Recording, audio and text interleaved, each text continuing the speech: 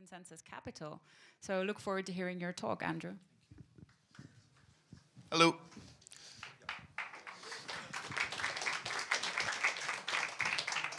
So uh, for those of you who don't know me, um, my name is Satoshi Nakamoto. I've been telling that bad joke for now three years, so at least it's a new crowd. So here's our sexy Silicon Valley hockey stick. Uh, obviously, we have seen this tremendous increase in the search and the kind of fever of blockchains. And uh, before I give conversations or give talks on this, I like to show this slide. Basically, this is Goldman Sachs' what if report. Every year, they essentially talk about forecasting planet Earth. This was last year's. First page, bold underline. What if I told you the blockchain could disrupt everything? And the reason I show this is because this is essentially not just an upgrade to financial services, but this is essentially upgrade to the database and an upgrade to the internet. And it's going to affect every human being, every company, every machine that uses database technology and the internet. So before going into the future, we like to kind of dig into the past. And what I'm showing here is essentially the first computers. They were the size of me. People in lab coats would essentially monitor them, and their output was paper. And in 1961, this gentleman, Edgar Codd, created the first relational database. This was the first time data was essentially stored and queried and, and put in order. At the same time, or just slightly thereafter, we had our first intranets. In 1969, we had one Stanford with UCSB and Brigham Young. In 1970, MIT added a node. And the kind of the key takeaway here is that the database and the internet grew up separately. And we, as humans, are accessing databases essentially through internet service providers. My first internet service provider was AOL. I was AKeys96. That was the year that I got my first screen name. And the internet essentially turned into this, I would say, oligopoly, where we access information through probably at most 50 to 100 internet service providers. And I respectfully submit for your consideration that there are issues with this. We've got a Gini coefficient where you've got 80 human beings having the same net worth as the bottom 3.5 billion people on Earth. You've got all sorts of hacking. You've got your Equifaxes of the world. Uh, you've got the ability for people to just essentially manipulate the data. In, in Enron, Arthur Andersen's case, they just literally went in and changed the uh, structures of these SQL databases.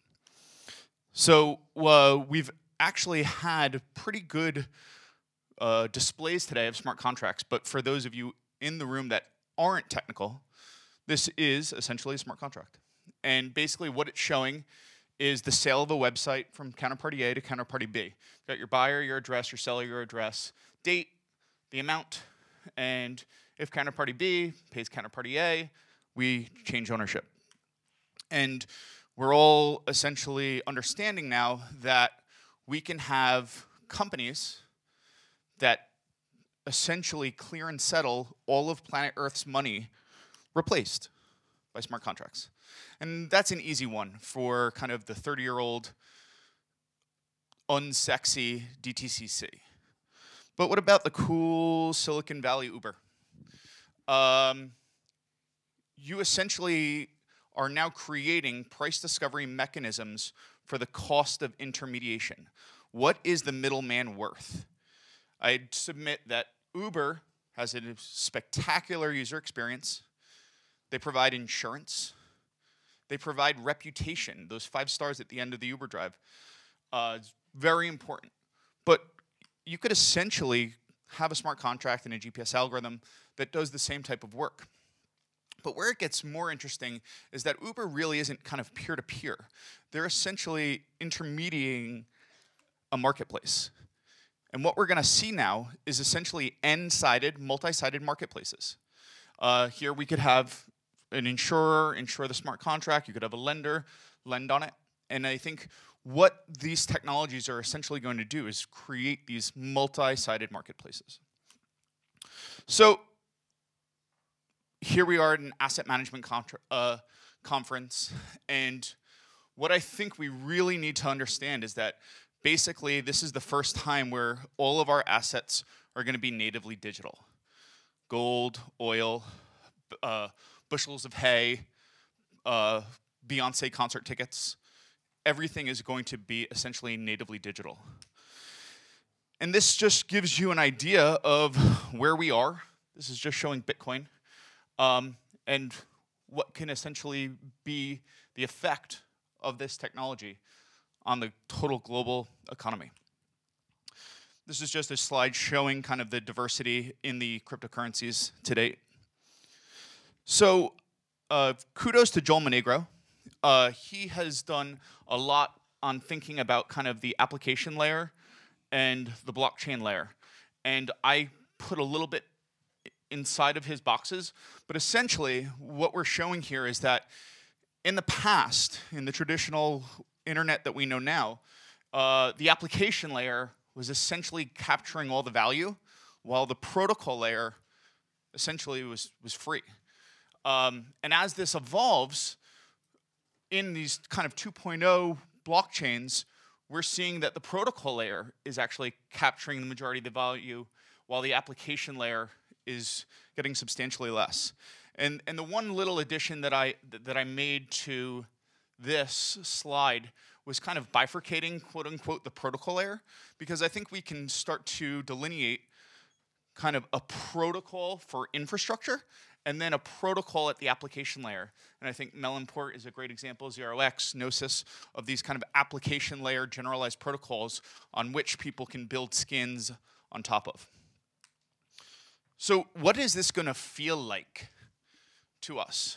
So, so I think what, what we're going to see is that the user experience is going to remain somewhat similar to what we have in our present day applications. But essentially, your browser, instead of it being Google Chrome or Safari, essentially your browser is going to be your identity.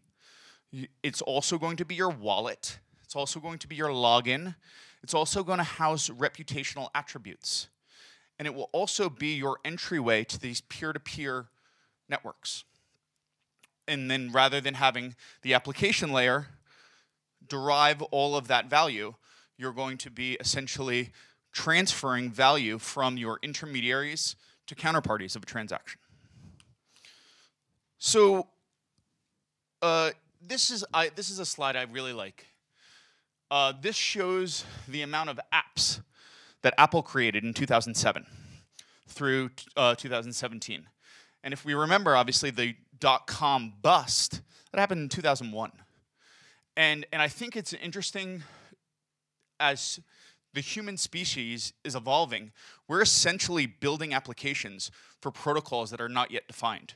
We've got smart guys like Sunny building these kind of connector protocols, and we're actually building these applications that are not yet defined. So just kind of an update on the Ethereum protocol. Basically, yesterday we included ZK snarks into the protocol. So now you can have private transactions, and then there's various scalability upgrades. So uh, quickly on ConsenSys, we are more of an ornery toddler than a startup these days. We're now 350 people, offices in New York, San Francisco, Toronto, Dubai, London, Johannesburg, South Africa, Romania, Chennai, India, and Singapore, and I'm sure a few others that I forgot. Uh, long story short, we, we operate across five pillars, if you will. So first is application layer. Uh, we maintain three of the eight implementations of the Ethereum protocol, Java, Haskell.NET. Uh, above that, we build developer tools. So we uh, created Truffle, which is the most downloaded developer environment for blockchains, full stop. We've also created Infura, which is essentially like Akamai for blockchains. Um, all of the applications that you saw today had that little uh, cat called the MetaMask. We built that for basically a Google Chrome extension to do uh, quick transactions.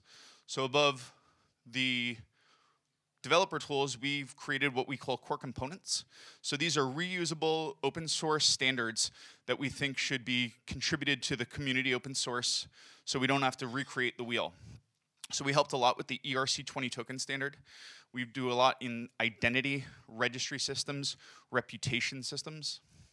And then above that, we build applications. So we're building everything from decentralized poker to uh, financial contracting, financial reporting, and kind of everything in between. And we run that side of the shop in what's called a venture studio model, where idea becomes a project, project becomes a product, product can spin out to be a separate company. Um, so next, we have enterprise consulting. So a few clients, Microsoft, JP Morgan, uh, the Monetary Authority of Singapore, British Petroleum, Procter & Gamble, uh, the Emirate of Dubai.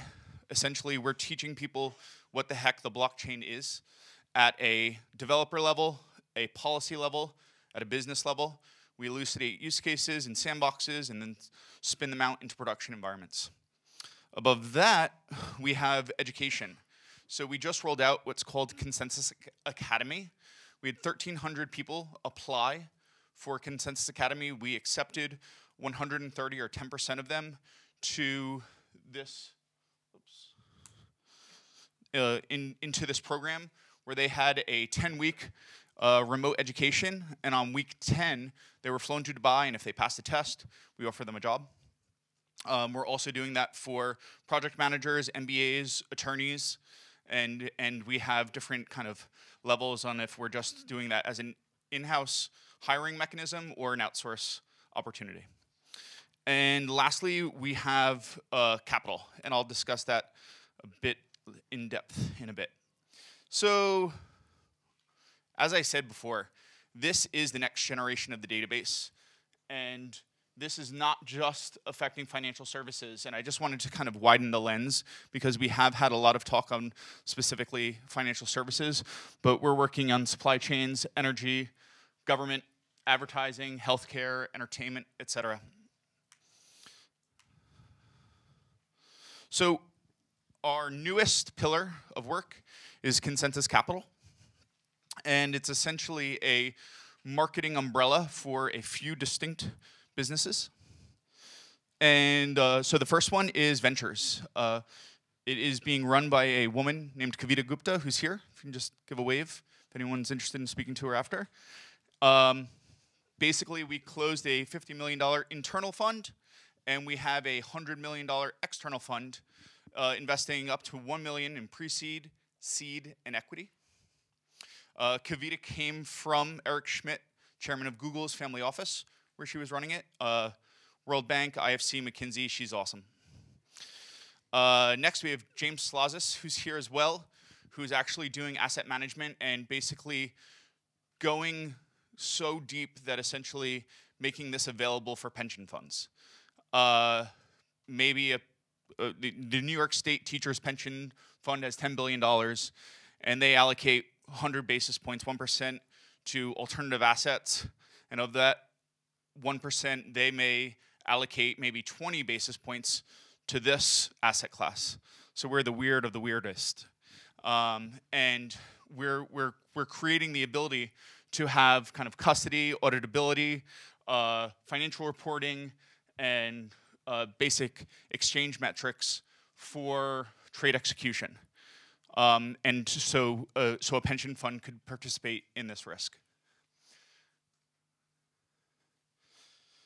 Um, lastly is Token Foundry. Um, and basically, uh, we have a bit of token fever these days, I think. I think it is somewhat of a frothy market in uh, kind of looking at history. Uh, from 10 years after 1996, in 2006, 86% of the companies from the internet era were gone. So 14% of them actually were alive. And I believe we're going to have somewhat similar metrics and maybe even more uh, today. And, and I think that there's kind of very specific guidelines, and I think Joey nailed it, talking about kind of how these companies should should work, uh, what tokens should do, uh, and and basically we help with a very formulaic process of kind of the Gantt charts of how to model the token, how to audit the smart contracts, how uh, what jurisdiction you should consider if you are uh, considering doing this work, and uh, we we walk companies through that. Um, so one that I'd like to talk about, and, and I just use this as an example about token fever, is, is one named Prize. Gil Penchina's here, and um, this is a great example of a company that is essentially finding places where there's opacity. Uh, the lottery market, where essentially the states, uh, a lot in Asia, they take up to 80% of the lottery revenues. And in this, you can essentially have provably fair sweepstakes, and I think it's a very compelling uh, market. So, a few things. Token fever, right? It's cool. Um, create a community and not a banner ad. Uh, th there's a lot of froth in this. I think, again, 86% of these are going to go to zero. Don't be the DAO. Uh, I think Joey's uh, conversation on Oriente is priceless. We have also created what's called ConsenSys Diligence that does smart contract auditing, formal verification. Don't be like Enron. Uh, we have done a lot of work on the financial reporting aspects of token sales and just essentially uh, maintaining proper uh, accounting for these types of tokens. Uh, other things to think about is your jurisdiction. Obviously, China says no tokens. Switzerland's a great place. Also, also Liechtenstein's worthwhile. It's 8.5% capital gains versus what could be in the mid-teens here. Um, and that's the overview. Cheers.